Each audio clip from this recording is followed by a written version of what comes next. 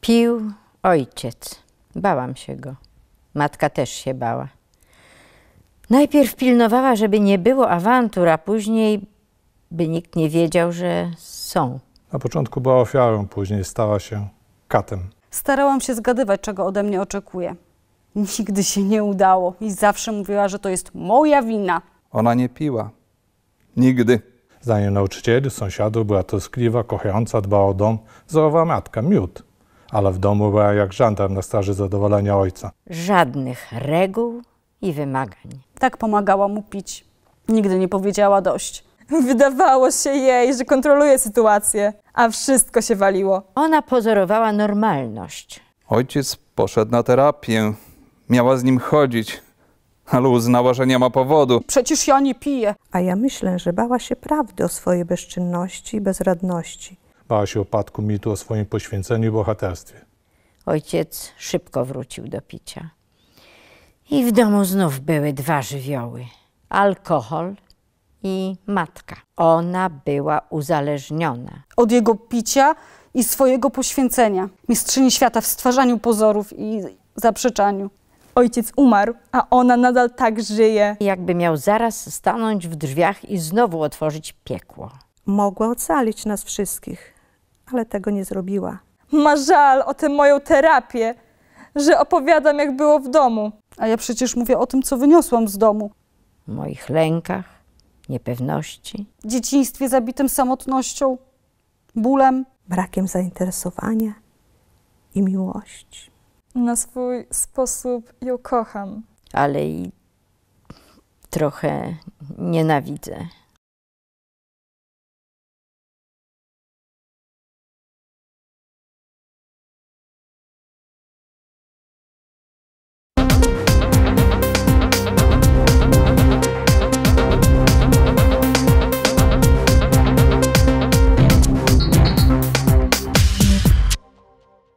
Dzień dobry Państwu, witam w kolejnej audycji z cyklu Cztery Oczy. Dzisiaj moim i Państwa gościem jest Pan dr Remigiusz Staranowicz. Dzień dobry. Dzień dobry. Pan doktor jest specjalistą ortopedą i będziemy dzisiaj rozmawiać na temat schorzenia, które dotyczy właściwie ogromnej części polskiego społeczeństwa, nie tylko kobiet, co już teraz chcę podkreślić. Pomówimy o osteoporozie.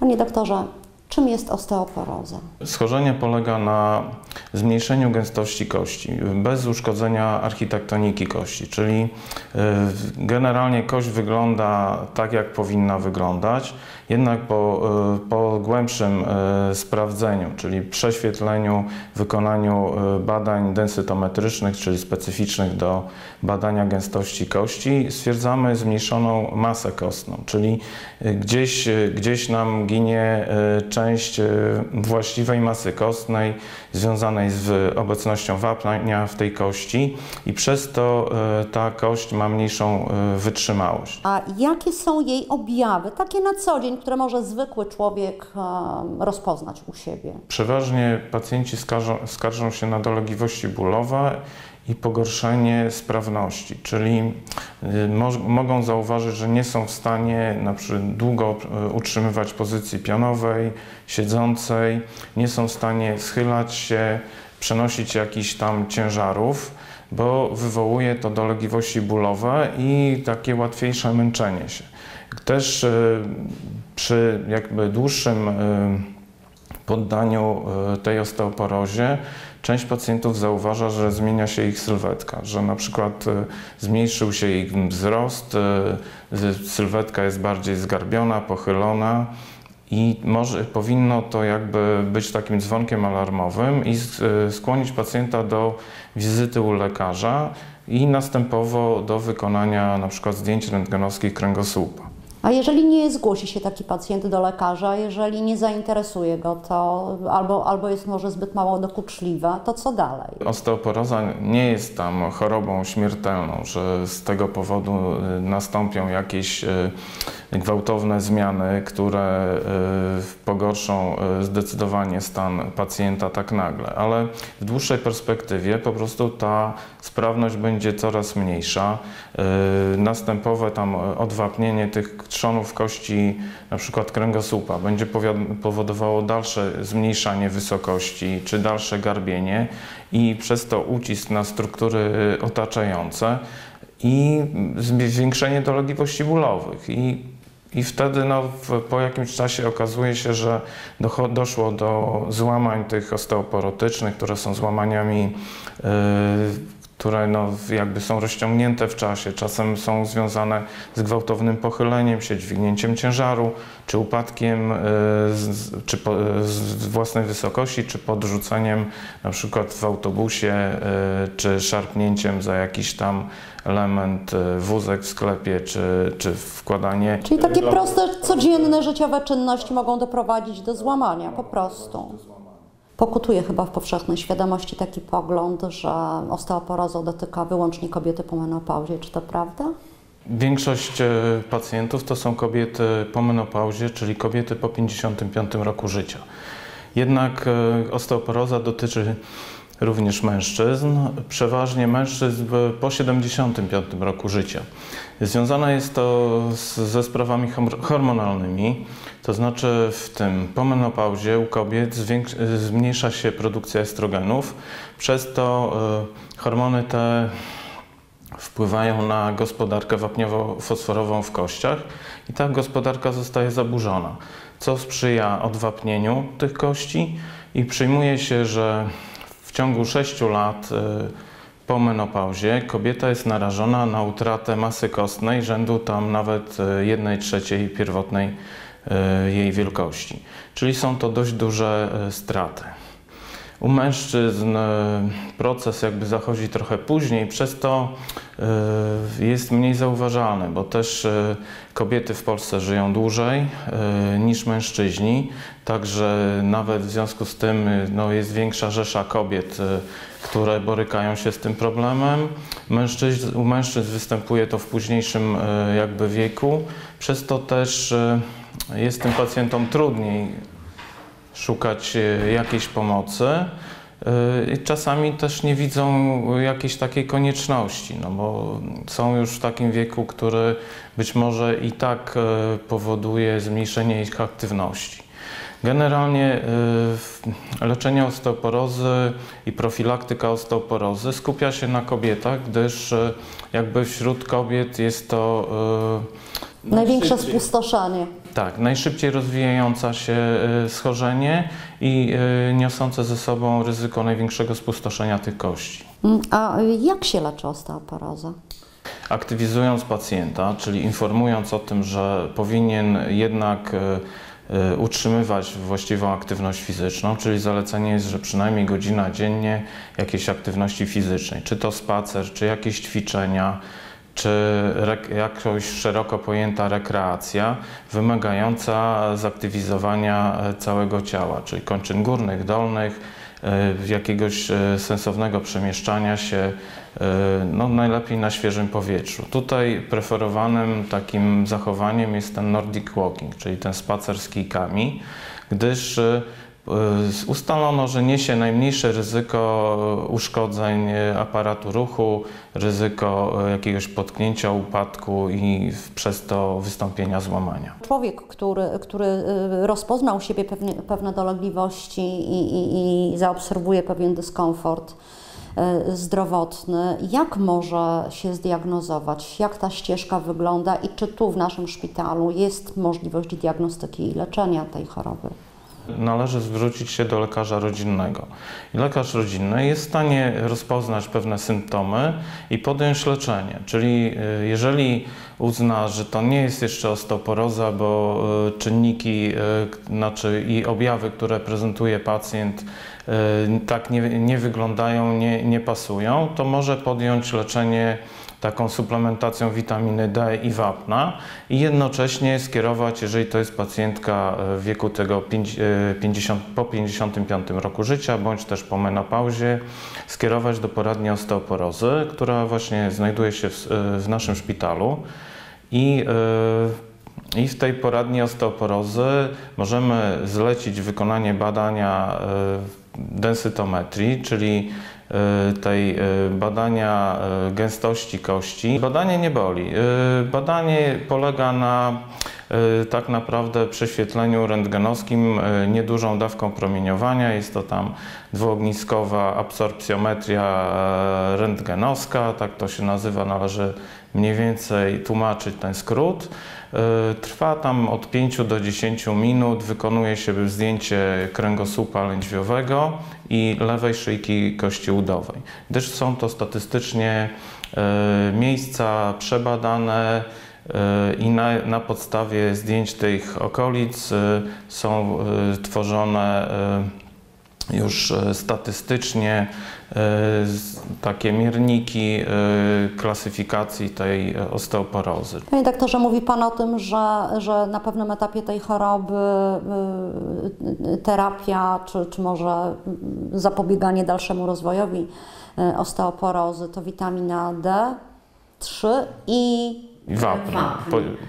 Y, mu- musi to być tak połączone. Dlaczego? e, Znaczy, dlatego, że sam wapń no, jest, jest wchłaniany e, w organizmie, ale do e, wbudowania do kości potrzebna jest ta witamina D, która zajmuje się transportem e, wapnia i stymulacją komórek e, kościotwórczych do jego wykorzystania i wbudowania do kości. Mówił Pan e, o e, badaniu densytometrycznym. E, Jak wygląda w obrazie rentgenowskim taka kość, która jest dotknięta tym schorzeniem, tym deficytem? Czy we wszystkich badaniach podkreśla się, że sama architektonika kości e, się nie zmienia, tylko widzimy, że przy e, zastosowanej takiej dawce promieniowania e, kości, które są e, dotknięte osteoporozą, są takie rzadsze, mniej zarysowane.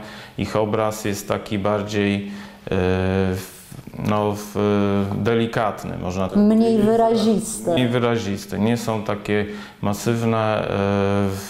bele, ich beleczkowanie jest e, po prostu mniejsze, znaczy cieńsze. Można tak, tak to określić w skrócie. Jak długo może trwać leczenie osteoporozy i zazwyczaj jakie wyniki są tego leczenia?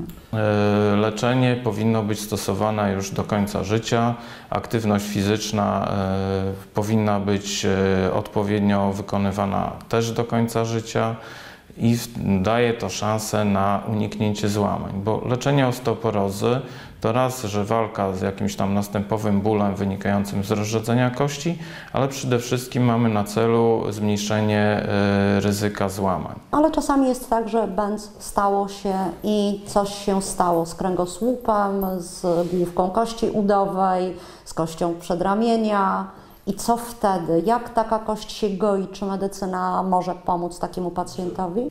podejmujemy odpowiednie działania. Jeżeli złamanie jest bez przemieszczenia, unieruchamiamy na 4-6 tygodni y, w przypadku nasady dalszej kości promieniowej, kontrolując y, ten proces leczenia w poradni ortopedycznej.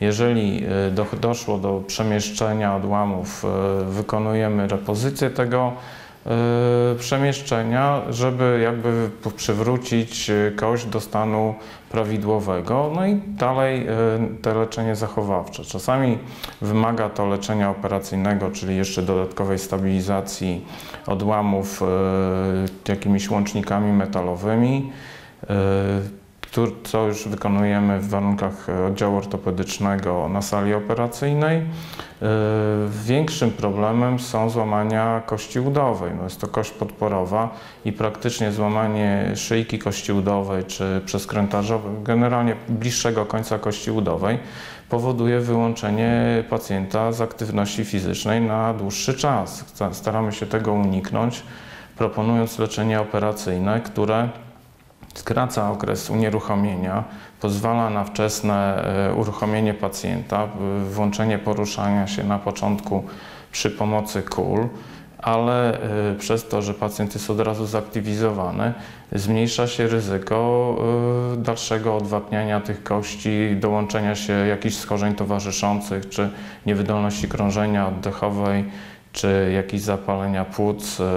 Czy niewydolności innych organów, które no, mogą wystąpić w przypadku unieruchomienia i zmniejszenia tej aktywności. Czyli na osteoporozę się nie umiera, ale te powikłania na skutek nieleczonej osteoporozy bywają Są groźne, są groźne i y, generalnie y, też dużym problemem są złamania y, kręgosłupa, czy bo one przeważnie przy y, u dużej części pacjentów przebiegają początkowo bezobjawowo. I to, tak jak już wcześniej y, mówiłem, dochodzi do na przykład do zauważenia przez pacjenta, że jest troszkę niższy, bardziej zgarbiony i y, ciężej mu wykonywać jakieś takie życiowe, proste Czy to nie ma takiego dramatu, y, jaki mamy na przykład po skoku do wody, prawda? No tak. To wyglądają zupełnie inaczej. zupełnie inaczej, y, przez to, że to jest rozciągnięte w czasie, pacjent jakby się w trakcie tego złamania troszeczkę do niego przyzwyczaja, czy no, bardziej y, Adaptuje się do tych dolegliwości. do tych dolegliwości bólowych. No. W przypadku złamania y, trzonu kości y, kręgów możemy, możemy też podjąć jakieś odpowiednie działania, czy włączając już to leczenie tej osteoporozy, czy w przypadku, kiedy są to kompresyjne złamania i spełniają one w jakieś warunki, można podjąć y, na przykład leczenie wertebroplastyką czy kyfoplastyką, czyli spróbować zacementować te trzony kręgów, czyli podać taką substancję, y, która wnika w miejsce złamania, konsoliduje ten trzon i pozwala, stanowi takie jakby rusztowanie, pozwala na tym rusztowaniu y, zwiększyć uwapnienie kości y, poprzez to, że pacjent szybciej się uaktywnia. Dla kogo byłoby wskazane, aby się tutaj y, zgłosił i, i sprawdził? Prowadzimy tutaj projekt z, razem ze szpitalem w Grodnie, szpitalem ratunkowym w Grodnie. To jest projekt diagnostyki i leczenia osteoporozy. Y, I w ramach tego projektu y, wykonujemy w naszym szpitalu, w poradni tej densytometrycznej badania y, przesiewowe. W jakie dni przyjmujecie Państwo pacjentów? Poradnia osteoporozy jest czynna we wtorek e, od 8 do 12 i e, w środę od e, godziny 14, e, bodajże tam e, w godzinach popołudniowych i w czwartek od, od rana. No, wtorek, środę e, ja przyjmuję w poradni tej osteoporozy, w czwartek pani doktor Dębska, Katarzyna. Bardzo serdecznie dziękuję, Dziękuję Panu za bardzo. tę rozmowę. Również Państwu dziękuję za uwagę. Przypomnę tylko naszym e, i Państwa gościem był Pan dr Remigiusz Staranowicz, specjalista ortopedii. Dziękuję bardzo. Dziękuję, Dziękuję Panu. bardzo.